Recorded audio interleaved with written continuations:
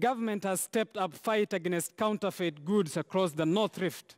According to Anti-Counterfeit Authority, ACA, goods worth 13.5 million was destroyed yesterday in Eldoret. Speaking at the Moi and Teachers Referral Hospital during the exercise, ACA Executive Director Elema Halake said that the multi-agency approach has borne fruit. The exercise was conducted by the head of the public service, who also says that they will not relent on the fight against fake goods in the country.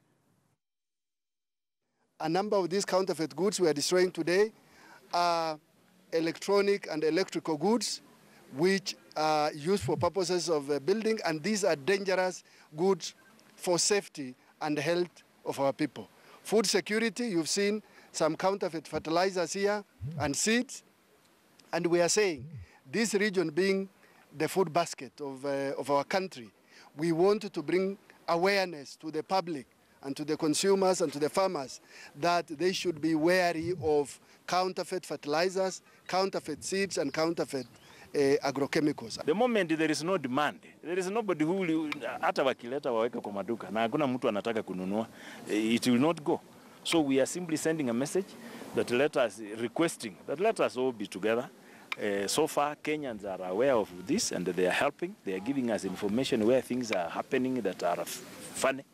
But we want to request also members of the Fourth Estate that you highlight this issue so that this country is ours, that we don't have uh, fake items in this country.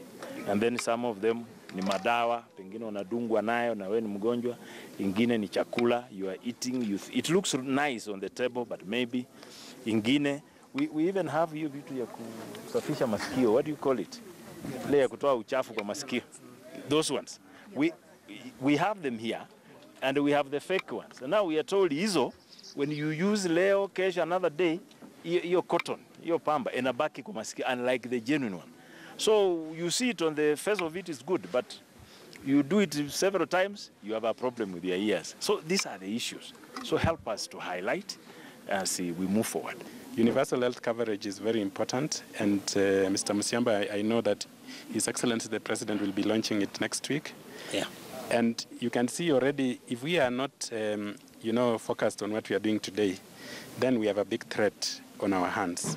So we want to all support His Excellency the President by ensuring that all the products that are consumed in this country, that are sold, that are resold, are genuine products, and there are no fakes at all.